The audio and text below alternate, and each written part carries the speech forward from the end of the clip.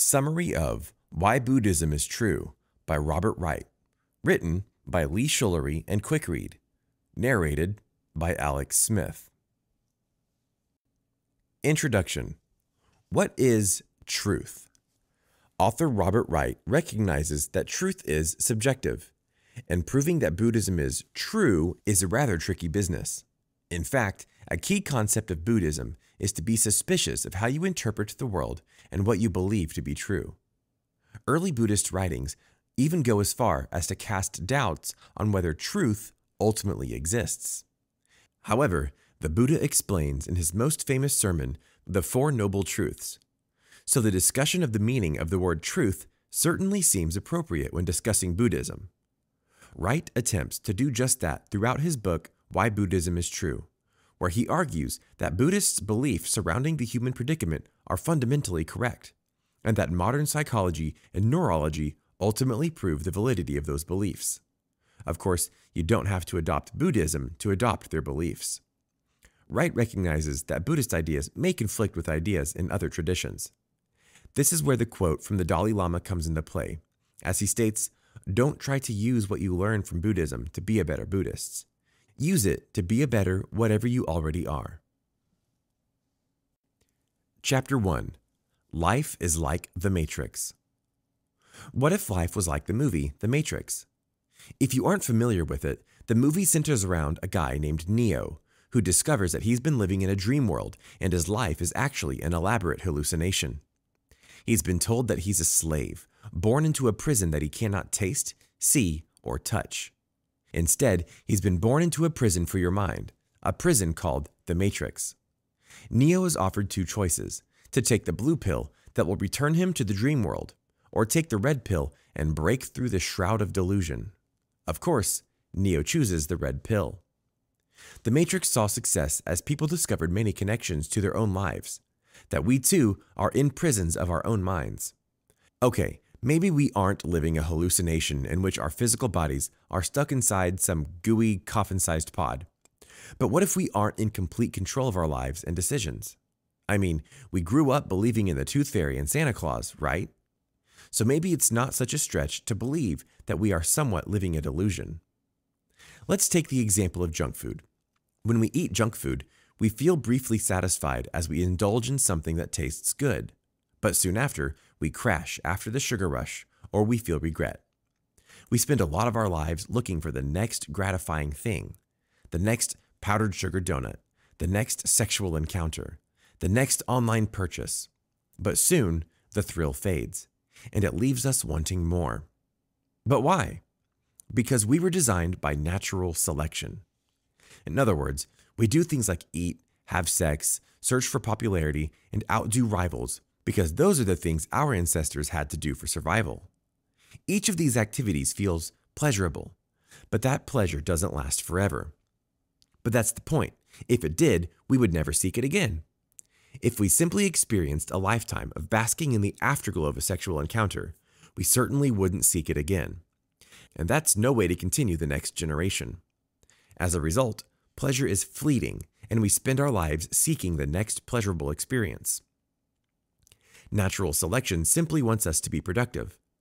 And the way to make us productive is to make the anticipation of pleasure very strong, but the pleasure itself not very long lasting. Each pleasurable experience triggers a response in our brains, which releases dopamine each time we taste a new enjoyable food or receive a promotion. However, our anticipation of that experience is more exciting than the experience itself. In one study, researchers observed a monkey's response when given a sweet juice. Predictably, dopamine was released right after the juice touched the tongue.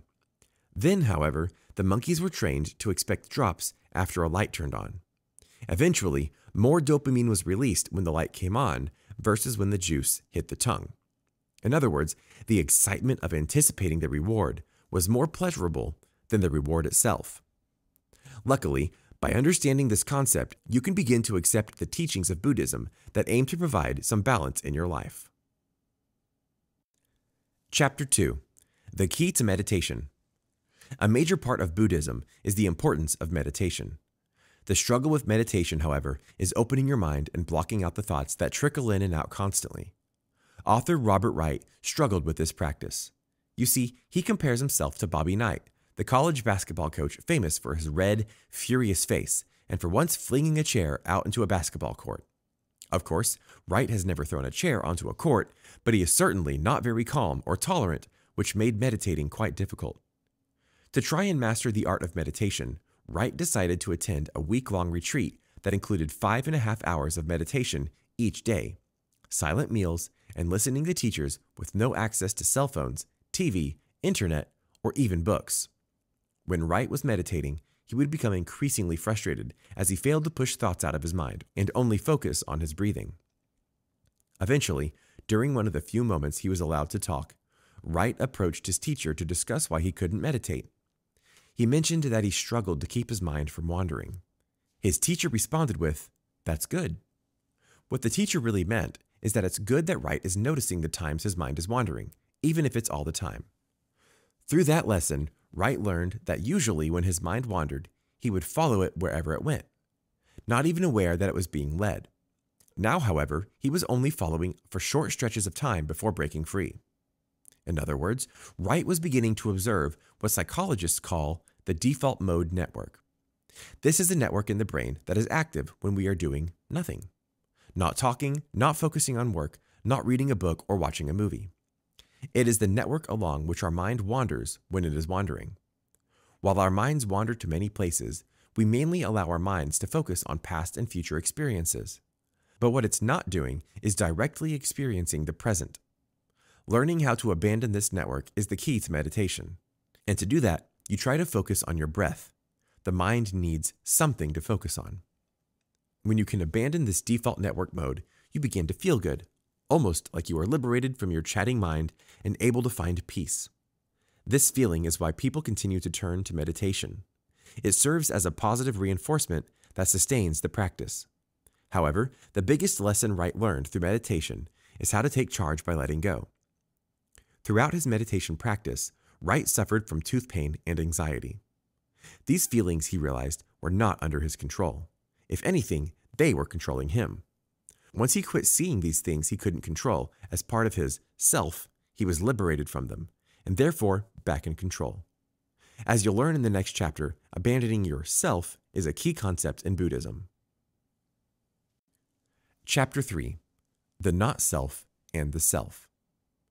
An important aspect of Buddhism is the concept of the self. The concerns of people in the Western world are largely selfish, and we tend to obsess with looks and how people perceive us. The Buddhist idea of anatta, however, introduces the notion that the self does not exist. Anatta can be translated to not self, and is a concept that is largely practiced rather than discussed. Despite the idea that the not self cannot be explained, Wright tries his best. Walpola Rahula, a Buddhist monk, once published an influential book titled What the Buddha Taught.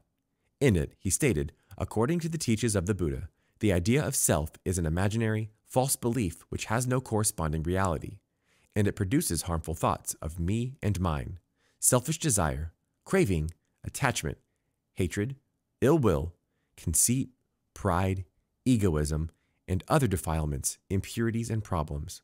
It is the source of all the trouble in the world, from personal conflicts to wars between nations. In short, this false view can be traced to all the evil in the world. According to Buddha, the world would be a much better place if more people realized they didn't have a self. Luckily, you can achieve this even with a small amount of practice. The not self experience isn't a threshold that you should suddenly cross or an achievement that you may or may not reach. Instead, even with a modest daily meditation practice, you can experience a bit of not self. Even if you never reach a full not self experience, you can improve over time, which can benefit both you and humankind. So, if you are trying to achieve a non self experience, then what is the self? This question may seem a bit too philosophical for many, but according to Buddha, the self is not the typical body, mind, or spirit that many Western people believe it to be. Instead, the self is simply just consciousness. Consciousness is inside the body, but isn't limited to a single body. It isn't burdened with attributes like appearance, intellect, or material objects. In other words, our looks, intelligence, and belongings are simply an illusion. Luckily, it is possible to achieve a state of pure consciousness through meditation. Chapter 4 Who's Really in Control? Nowadays, modern psychologists are beginning to support the Buddhist idea that we are not entirely in control of our reality. Robert Kurzban, a professor of psychology at Penn, suggests that you aren't the president, the central executive, or the prime minister. In other words, our conscious self is not some all powerful executive authority. But if the conscious mind isn't in control, then what is? It may be hard to admit that we aren't in control because it feels as if we are. We believe our conscious self is in charge of our behavior and our decisions. However, many experiments have begun to cast doubt on this belief. The most famous experiments are those involving the split brain experiments when people underwent a procedure that separated the left and right brain hemispheres. Researchers sought to confine information to a single hemisphere by only presenting it to half of the patient's visual field. For example, if a word is presented only to the left visual field, which is processed by the right hemisphere, it won't enter the left hemisphere at all, since the hemispheres have been surgically separated. However, despite this separation, patients were still inexplicably communicating with the other parts of their brain. For instance, the left hemisphere is what largely controls language. So patients whose right hemisphere was exposed to the word nut report no awareness of this input. However, their left hand, which is controlled by their right hemisphere, will rummage through a box containing various objects and produce a nut. Similarly, some participants had their right hemisphere exposed to a prompt telling them to walk. When they did walk, the participant was asked why. Providing such an explanation would require a left hemisphere recollection, which participants didn't have. Regardless, the participants always created an explanation for why they stood up to walk that had no relation to what really occurred. What these experiments aim to prove is that we may not be in as control of our actions as we once thought. In other words, you may think that you're the director of your own movie, but you're actually watching it. Even worse, the movie may be directing you. Unless, of course, you manage to liberate yourself from it, like Neo was able to do in The Matrix. Chapter 5 Emotions Control Us. Imagine a robot whose brain worked like the human brain. If you were to ask the computer scientists to describe its workings, they'd simply explain how the brain consists of a lot of overlapping modules, and modules within modules, and the robot's circumstances determine which modules are, for the moment, running the show. However, the scientists would have trouble pointing to a part of the robot's programming and say, this part is the robot itself. But what controls those modules? Wright and many psychologists largely believe that these modules are controlled with feelings, for instance, The Shining makes you feel fearful, and this fear plays a role in activating the self protection module, which might make you seek shelter in a crowd. In other words, feelings are calling the shots. Feelings are what decide which modules will be in charge for the time being. One of the strongest feelings is jealousy. During the 1980s and 1990s, psychologists Leda Cosmides and John Tooby studied the effects of jealousy and discovered how transformative this emotion can be. When it comes to sexual jealousy, our minds are subject to incredible changes, including thoughts of violence and desertion, the desire to make oneself more competitively attractive, the decline of trustworthiness, and much more. In fact, a person's attitude and disposition can change so much that a new self may emerge and control the mind. This study of jealousy reinforces the Buddhist belief that we actually have very little control over ourselves. There is no one self, no CEO that runs the show. Instead, there are a series of selves that take turns running the show, seizing control through feelings. So, how can you take back control of your emotions? Well, Buddhism can help through mindful practice and mindfulness meditation. Through practice and meditation, you can learn how to control your feelings and observe them without acting upon them. So instead of yelling at your partner when you get angry, you can recognize that anger is simply temporary and, instead, have a mindful conversation about your emotions. Chapter 6 Controlling Your Impulses. When you go shopping, how often do you buy something you didn't plan to? Perhaps you created a shopping list, and while you bought everything on that list, a few more items somehow appeared in your cart. While you may not buy unplanned items all the time, we've all fallen guilty of this at some point in our lives. In fact, this phenomenon has been studied since as early as the 18th century, when philosopher David Hume wrote that human reason is the slave of passions. Now, a quarter of a millennia after Hume caught up with Buddhism, science is catching up with Hume. In an experiment done by cognitive scientists at Stanford, Carnegie Mellon, and MIT, participants were given real money and offered to buy items such as wireless headphones, electric toothbrushes, Star Wars DVDs, and so on. While participants were viewing and analyzing each product, their brains were being scanned. Researchers were watching which parts of the brain got more active and which got less active, and surprisingly, they found that none of these parts of the brain were associated with rational deliberation. Instead, the active areas were parts associated with feelings. For instance, the nucleus accumbens, the part of the brain associated with pleasure, gets more active when people anticipate reward or see things they like. The more active this part of the brain when looking at a product, the more likely the participant was to buy it. Ultimately, when we weigh the pros and cons of buying a product, our strongest feeling, attraction or aversion, wins.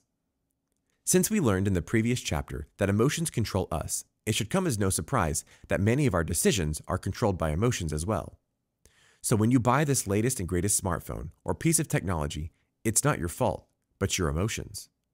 Of course, you can learn to control these impulses. But how? Once you realize that emotions have significant power over your decisions, you can start to practice self control by reasoning in an emotional way. Instead of simply stating, I don't need that piece of chocolate because it makes me gain weight, you should use a form of meditation to help connect yourself emotionally to your decisions. You can do this by taking a moment to visualize yourself after you have cut junk food like chocolate out of your diet.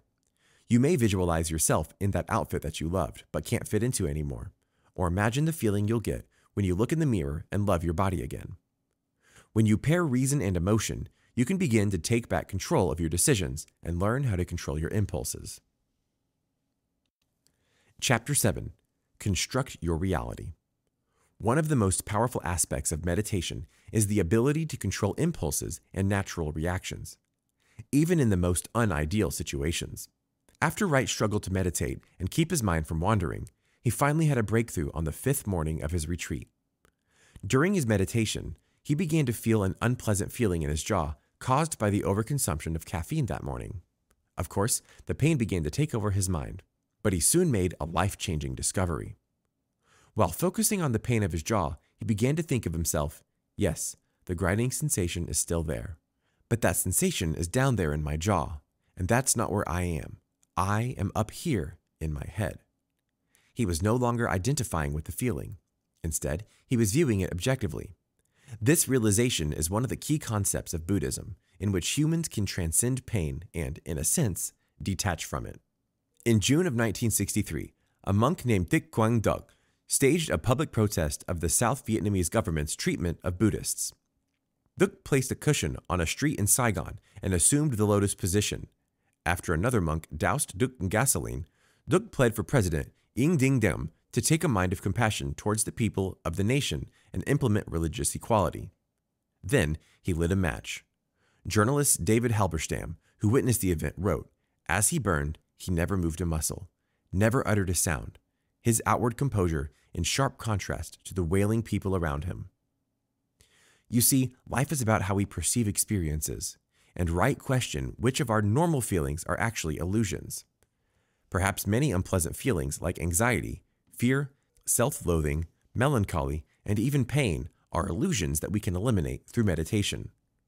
Wright experienced negative feelings like anxiety when he felt the pain of his jaw during meditation. He felt the pain, he recognized it was there, but he eventually detached from it, realizing that pain was a separate experience. Similarly, on that same retreat, Wright was able to take uncomfortable situations and turn them into positive experiences. Outside his bedroom was an electric saw that constantly buzzed, which made a supposedly peaceful retreat not quite peaceful. However, his mindfulness teacher reminded Wright that a key concept of Buddhism is to accept your current situation. Wright took this to heart and changed the way he perceived the constant buzzing outside his window. Instead of an annoying saw, that buzzing became a melodic tune, music that he could enjoy from the comfort of his room. By changing his perception, he was able to transform an uncomfortable noise into an enjoyable experience.